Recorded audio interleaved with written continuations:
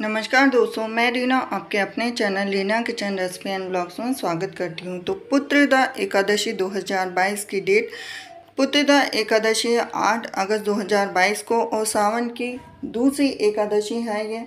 और एकादशी तिथि प्रारंभ है 7 अगस्त 2022 को, सुबह ग्यारह बज के पचास मिनट से शुरू होगी और 8 अगस्त 2022 को रात नौ बजे समापन होगा।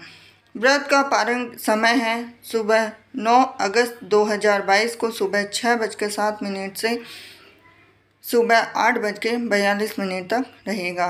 इस तरह से पुत्रदा एकादशी जो कि उदया तिथि में जो तिथि मानी जाती है, वही पुत्रदा एकादशी मानी जाती है। और सुबह जल्दी उठकर स्नान आदि से निवृत्त हो जाए, घर के मंदिर में दीप प्रज्वलित करें, भगवान विष्णु का गंगा जल से अभिषेक करें।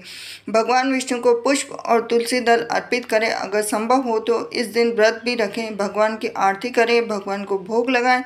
और इस बात का विशेष ध्यान रखें कि भगवान को सिर्फ़ सात्विक चीज़ों का ही भोग लगाया जाता है।